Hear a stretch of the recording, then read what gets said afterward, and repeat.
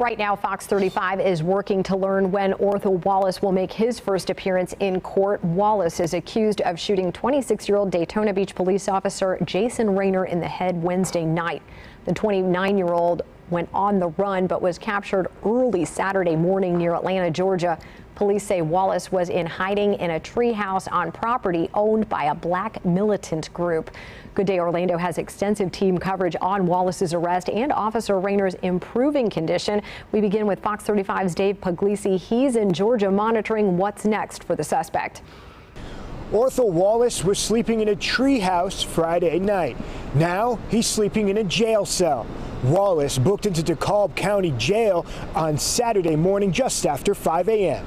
A light shines on the half-built treehouse perched in a heavily wooded area about 15 minutes from Atlanta, Georgia.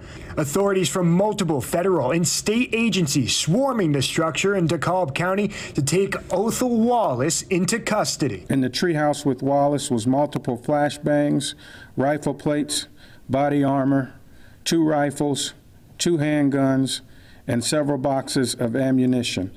Wallace, on the run for 56 hours, is wanted in the shooting of Daytona Beach police officer Jason Raynor. Stop. Stop. Stop. The 29 year old adding this mugshot to his collection. Georgia State Patrol say Wallace cut his hair to disguise his appearance. Wallace taken into custody with Raynor's cuffs. Officer Raynor and his condition as of yesterday there were uh, very positive signs of improvement. Daytona Beach police say the three acre property is owned by a black nationalist paramilitary group called NFAC. Wallace, aka Ozone, had ties to the organization. His posts on social media appear to show talk of killing law enforcement. He actually did make a statement. What he said was, You guys know who I am, you know what I'm capable of, and it could have been a lot worse. Wallace may also have ties to another group called the New Black Panther Party. The Facebook of Dr. Malik Shabazz, who declares ties to the party, appears to show Wallace on an event poster for the group.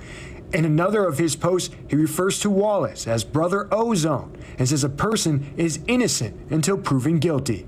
Uh, he is in custody, and at some point, he will be making his way back to uh, Daytona Beach.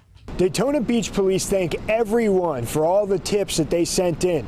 In the end, they say it was surveillance and tech that got the job done. Wallace is expected to be extradited back to Daytona Beach, but a timeline has not been set for that.